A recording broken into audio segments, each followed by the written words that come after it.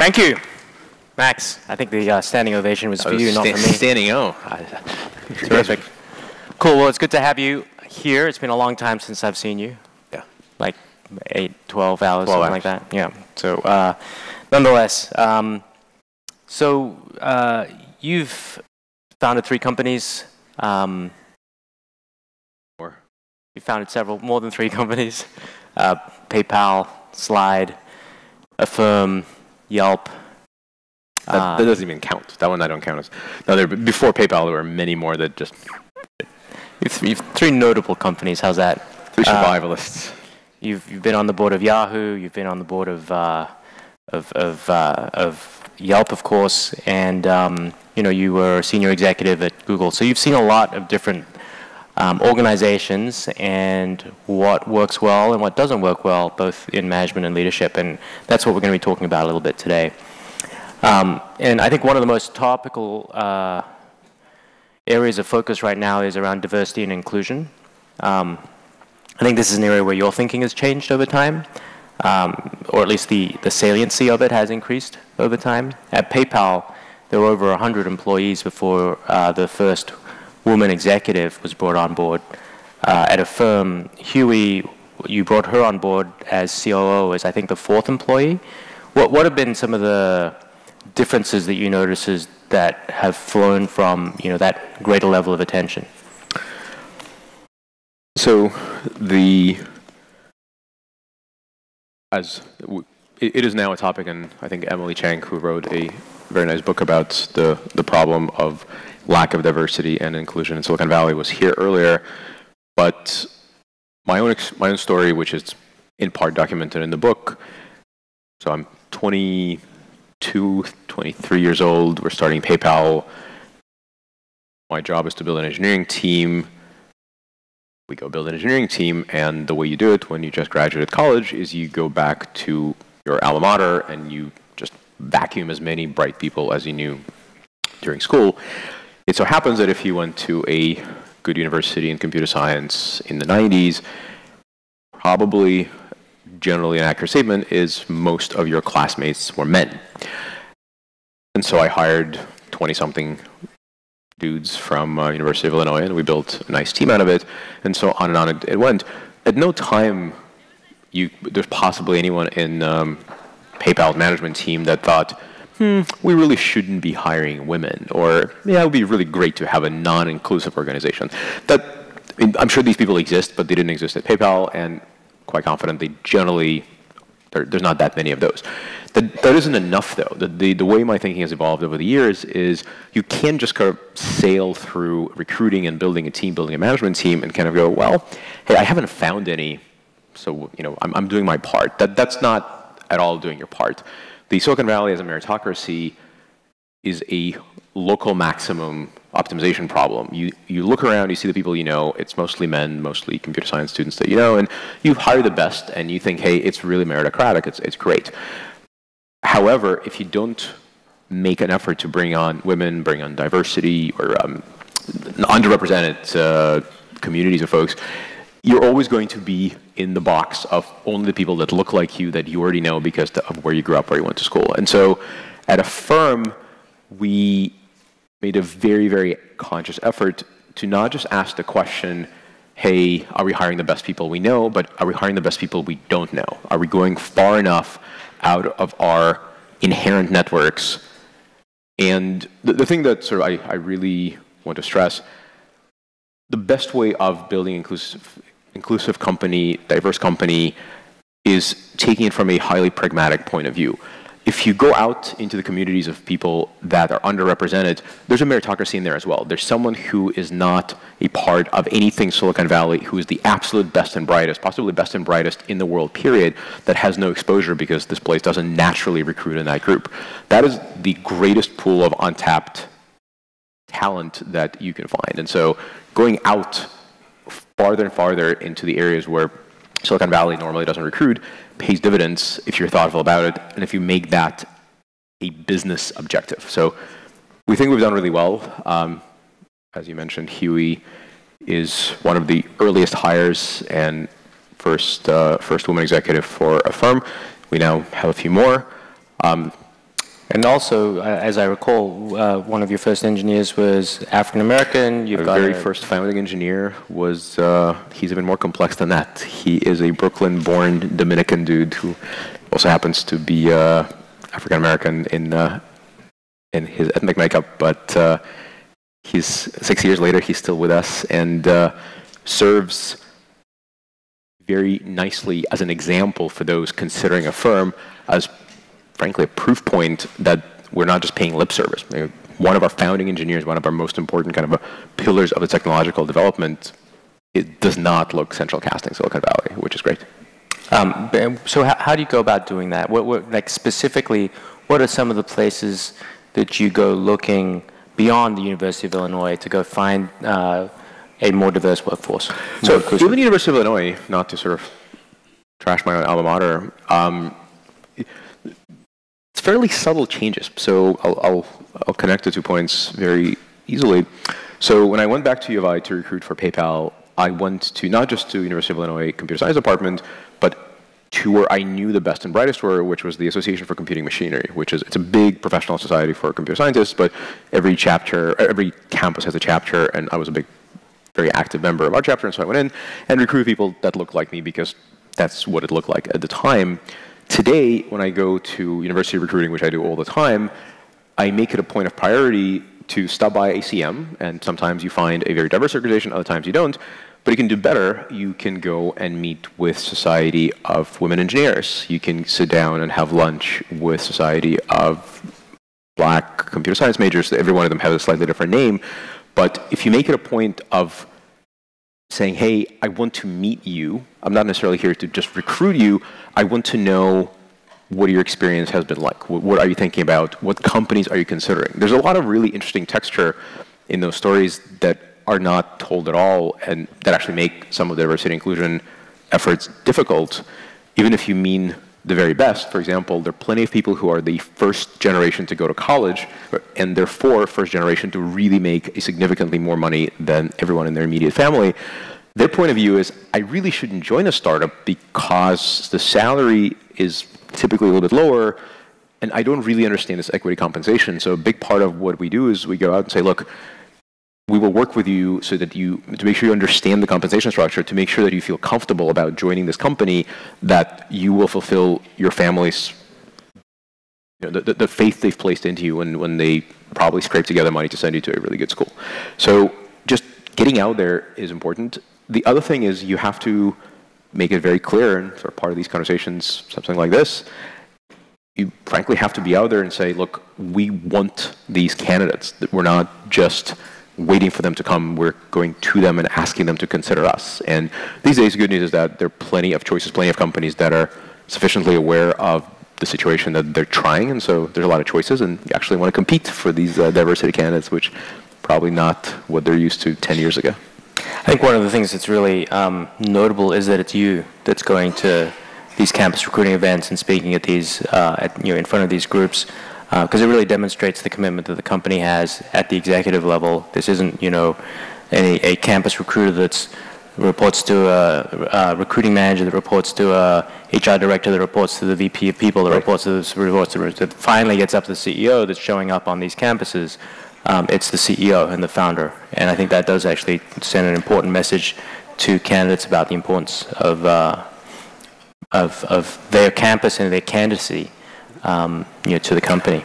Yeah, it's certainly um, it, it, it's certainly part of my agenda to go meet with these clubs, even if I have some sort of a large speaking engagement before or after. I, I found those kind of a small group, three people, five people conversations to be much more effective in, in finding the connection and making sure that people take away the message that we mean this and we actually want to see the needle moved as opposed to just make sure we check the box. Yeah. Um, and, and equally having the successful people in the company as um, you know as, as existence proof that uh, you know um, people from diverse backgrounds can be successful at the company, whether at the executive level um, or you know simply long time um, you know uh, employees that have that, are, that have uh, kind of the respect of the organization. Yeah, I, I think anybody doubts that our first engineer is one of the most important contributors and still active today. So I think that's a, it's a great existence proof, as you put it. Yeah. Um, you know, another thing that's been quite um, topical has been this idea of um, you know Uber and the culture that it, that it generated because of its tolerance for brilliant assholes. Um, so I'm sure you've worked with your share of brilliant assholes in your time. Um, you know, how has your thinking evolved on the impact that those sorts of people can have on an organization? There's definitely one, I, have seen my fair share of, of brilliant assholes it's a little bit more complicated than brilliant check, asshole check. It, it, it's more nuanced in a sense that a lot of times you find people that are are unafraid to speak their mind, to get into it, to sort of really pile on the criticism. If it comes from the place of passion and ultimately is bracketed by respect, I think that's worked in the past, and I think that still works today if you step over the line of turning a conversation into essentially throwing insults at the person as opposed to their idea, it's sort of the beginning of the end. Like, there's certain capacity every organization has to put up with a brilliant asshole who's just going to say mean things about you because they're really trying to criticize your idea. But then it starts fraying, the, the edges of the, the fabric of the organization really start fraying fairly quickly. And pattern recognition takes over reason, where people say, oh, I know what you're going to say. You always say this. And it actually comes both ways. People that are nice, people that are brilliant assholes, they start substituting logic with, oh, you're, you're just terrible these kind of things. And that breaks down communications. And then the only way out is you have to manage the person out of the company. And um, unfortunately, the some of the brilliant assholes that have been immortalized in Silicon Valley and beyond as successful managers, successful leaders of companies, have contributed to this bizarre, absolutely false inverted causality of if I'm an asshole, I might be brilliant. In fact, I must be brilliant, which you, you see way too often. One, that's not true. Just because you behave really badly does not make you that much better. And if you're really smart, behaving badly doesn't make you smarter. And that's probably the single most common pattern where I had to kind of go, this is my first and last conversation. I think you're doing this because you think you're smarter than everybody else, and by showing off that you are, it, it's, it's going to give you more credibility in, in your organization. Next time we have this conversation, it'll be with an HR person in the room, and this will be your last conversation here. And I've had to manage people out, as they call it, and or fire, in this context where it, it hurts the company if below the layers of brilliance and complexity and assholeness and whatever else, there's a lack of respect for the other person. Like that, that's the part that really breaks it. Words are words. It, it doesn't ultimately matter that much if you walk out of the room thinking, I think you can do your job better than I can do your job. If that trust isn't there, it's, it's just a, a way out. And so that's, uh, I think that's, that's a really interesting perspective. I, I think that a, lot of the brilliant assholes um, behave the way that they do because they think that they can, um, and that you know their their their job performance is sort of cover for it. And at some point, um, when that no longer becomes true, um, you know that they they figure out there's other ways to behave. I, I used to work in entertainment. Um, earlier in my career, I was at uh, USA Networks before it became IAC. And um, that behavior is pervasive in the entertainment industry, and it starts with the talent. You know, it starts with the demands for only red M&Ms in the green room, and you know, I've only, you know, if I'm flying, I got to fly private, and I got to have to take three or four of my friends with me, and all that sort of stuff. You know, people are behaving that way because they can, and it permeates from the talent to the executives um, because they look at those the talent and say, well, if they can get it, why can't I get it? And um, and I think it's really um, what, what was one of the things that attracted me to the technology industry relative to the entertainment industry is that, um, you know, at, at, least at that time, um, the, the, there really wasn't that tolerance for that sort of behavior. I think in general, I mean, as much as the brilliant assholes get a lot of airplay, Silicon Valley, for all its flaws, is one of the places where humility is generally prized. I think people like working for founders that, you know, fly economy and wash their own dishes. And there, there's a bit of an esprit de corps that develops around, especially in teams where everybody knows everybody. If you're if you're there burning the midnight oil with the team, that leadership by example goes a very long way. And sort of being a brilliant asshole is absolutely not a necessity. I think that that's a myth that can't die too soon. Well, I think this is one of many examples of how leadership flows from the top. Um, and that uh, you know everybody's sort of taking cues from the founders and the CEOs and their behavior. Um, it's sort of uh, like it's one of the most effective tools of management is your own example.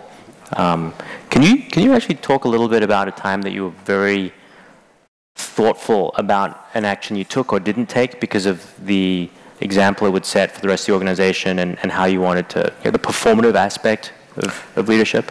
So I'll, I'll spare the exact details because the company's still ongoing, but you were already on the board for this one. So a couple years ago, we had a bug in our system that cost us a little bit of money. And uh, it did cost us a little bit of money in a grand scheme of things, but at the time, the upper boundary was not yet defined. It was unknown, I so remember. walking into an executive meeting and being told by your head of risk and your head of engineering, so we had to screw up, and uh, we know it's at least hundreds of thousands of dollars maybe millions, maybe tens of millions of dollars that we will never see again. So as a lender, you only make a tiny spread between the principal and principal plus interest, but you can lose the totality of the principal. And so the, the downside is significantly worse than the upside. And so my initial reaction, I mean, it's one of these things where you're like, I trusted you guys, what the?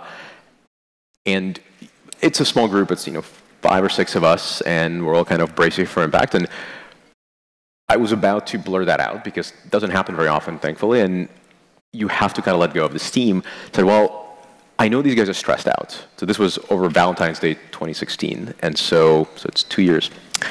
Um, and uh, I basically bit my tongue and thought, you know what I need to do? I need to show these guys that we're going to come together and figure this out because I don't know if I have the solution in my. In fact, I don't have I have a solution in my head, but so I don't even know if we survive this one. But if I project this oh my God, hair on fire attitude, I know they're already there. They were here all night trying to figure out what's going on, and they still don't know. I have to turn us around and say, okay, doesn't matter whose fault it is. Let's let's get on top of this thing now. And at the time, it was like one of these two and a half seconds where I was like, okay, we're gonna get, and and we did, and we solved it, and it was very. Incidentally, Huey, the the first female hire and female executive, was extraordinarily instrumental in solving that one for us. And uh, a year did, later. She did it, interestingly enough, she did it without the reliance on technology. Yeah, this was like a human effort. It was kind of amazing. But uh, long story short, so this is also like, you know, I, I didn't put this under the I led by example today check. But a year and a half later, there was some sort of internal survey around sort of leadership within Affirm and how we're doing and et cetera. And apparently the story of Max kind of going, okay, now we're going to come together as a team and fix this became like a minor legend where people somebody in the room told someone else in the room and said hey this you know I, I saw i saw the guy in charge. He he swallowed the hard words and moved right along and we're all going to have to do it. And so it came back to me as an example of that was really inspiring behavior apparently. So ever since then i've been quite good at going is this the part where i lose it or is this the part where i'm actually going to go like okay everyone time to come together so i'm for what it's worth, it, it works. It worked for me. I, I can also readily admit to not always being so good about sort of pocketing the angst and, uh, and, and not letting it out. I mean, cu culture flows from the stories that people tell, and the stories people tell come from these instances because um, it tells everybody else like how it's okay to act and how it's not okay to act. Um, I think we're seeing that in the White House today, you know, where uh, like leadership is coming from the top, and everybody looks at that and says, "Oh, it's okay to do these things." Um, to not tell the truth, for example. Um, and, uh, you know, so I think we, we, we as leaders need to be very conscious about the, uh, um, the, the precedent that we set uh, because it does, it, everything follows, everyone's watching the leaders and everyone's watching how it's okay to act. Um, Every part of this is televised now. Yes, indeed. Um, you know, this actually brings me to, I think, the last question uh, that we'll have time for, which is related to what you just talked about. And this is the whole concept of founder attention. Like the things that the founder pays attention to, they get done. The things the founder doesn't necessarily pay attention to, they may not get done. Can you, can you kind of give me an example of a time when, you know, founder attention really when focused, solved an important problem that maybe wasn't getting enough attention before? So this is a an old story, but it's a probably one of the most formative stories of, uh, of my career. So right after PayPal and X.com merged to form what became the combined PayPal, it was a very, very tumultuous merger. It was a 50-50 merger, which I do not recommend. If you don't know who's in charge, everyone's in charge, and there's a lot of hand-to-hand combat. And um, I was kind of the junior founder. Peter and Elon were the CEOs of the two companies. I was the CTO, so I was a little bit protected. I was also younger, so not, not as involved in hand-to-hand combat. So I busied myself by, because I'm, I'm nerdy, reading our books. So I started sort of going through our accounting books, or just basically the balance sheet and a, and cash flow statement for the company, just to educate myself. And um, I thought something was off, and I sort of asked a couple of questions of the accounting team, and they gave me some numbers, and I had never taken an accounting class. I was a complete neophyte. And uh, it just felt like there was something not quite sort of looking really right as to what I expected but no one seemed to be all that worried. And at a time, I was thinking, well, if no one's worried and I don't have any accounting background, it's okay. But I kept prodding because I, I was curious. About a month later, I began to understand and sort of roused people around me that fraud, which became a legendary scourge of PayPal, which later on a lot of us were intimately involved in combating, basically left us about six weeks of cash flow. Like we, we would have been straight out of money, six weeks or less. If so, what was happening? What was this fraud that was happening? Uh, this was so PayPal was growing its processing volume very, very quickly, and a lot of those transactions were being done by organized crime and various fraudsters from all over the world using stolen identities and stolen credit cards. And so when somebody uses a stolen credit card, as a processor, PayPal was on the hook for all the money. And so you process someone's $100 payment, just like my example about loans, you process $100 payment. The person whose real card was being used without their knowledge says, hey, that's not my $100 charge. They charge a chargeback. The credit card company re refunds the transaction. The merchant of record, which is was PayPal, is on the hook for the money. So as we were scaling the company exponentially, so were the bad guys scaling the milking of PayPal of its uh, of, of money didn't have. And as you pay back these chargebacks, it comes out of your cash. And so even though we just raised a very large, I think it was an $80 million round of financing, we were very rapidly bleeding money out. And the, you know, I, it's one of these things where you can only run the experiment once. Had I done nothing, maybe would have survived. Maybe the company would have been dead. But um, one of the sort of moments of, of my past where I kind of look back and say, I'm very happy I was just obnoxiously persistent enough to go keep digging and basically cashing in the founder prerogative chips. Like, hey, hey, I started this thing, so you got to teach me. And I'm sure a lot of these people are basically telling me like, look, you, you really don't need to dig into my work. But it was really about forecasting what turned out to be a very fast growing exponential function while everyone who looked at it initially was saying, well, yeah, it's growing a little bit, but you know, whatever. Chargebacks are delayed between 60 and 90 days, mm-hmm. so you don't get to see your losses unless you're forecasting them. And if you think the forecast looks like this and it looks like this, you can find yourself in very bad trouble very, very, very unexpectedly. So that was a that was an important uh, founder prerogative uh, story, I think. Great. Good. Well, thank you, Max. Uh, this has been terrific, and the audience will join me in thanking Max for sharing some of his perspectives.